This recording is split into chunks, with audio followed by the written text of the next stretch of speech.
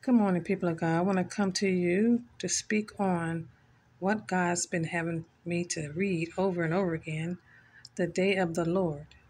The day of the Lord. The day of the Lord, the Lord's future to reign. The day of the Lord, it says, is coming from Isaiah 2.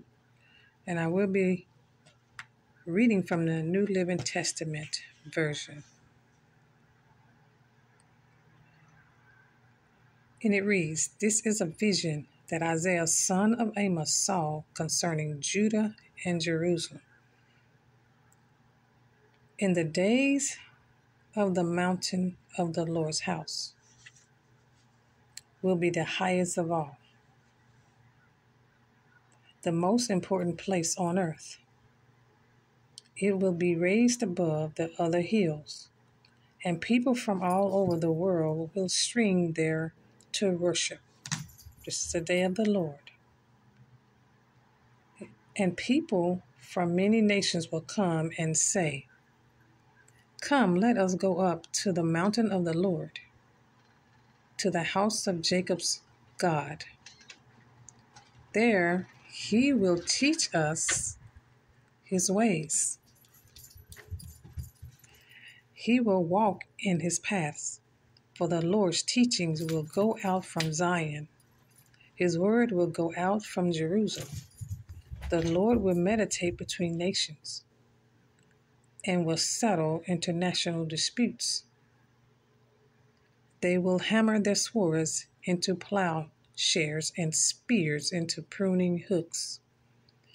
Nation will no longer fight against nation, nor train for war anymore a warning of judgment. A warning of judgment is next. Come, descendants of Jacob, let us walk in the light of the Lord. For the Lord will reject his people, the descendants of Jacob, because they have filled their land with practices from the east with sorcerers, as the Philistines do. They have made alliances with pagans. Israel is full of silver and gold. There is no end to its treasures. Their land is full of war horses. There is no end to its chariots. Their land is full of idols. The people worship things they have made with their own hands.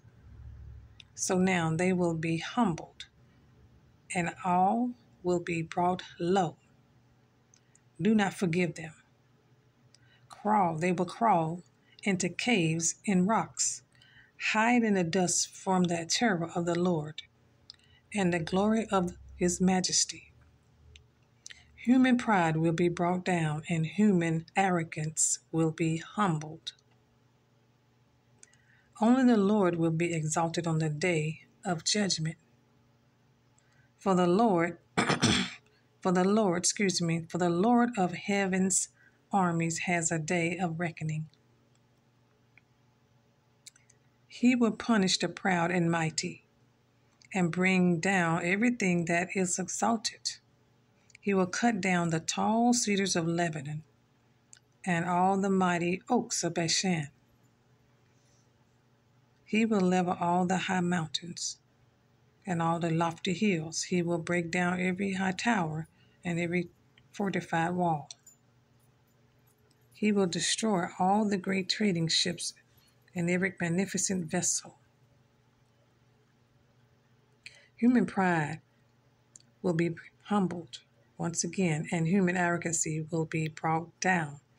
Only the Lord will be exalted on the day of judgment.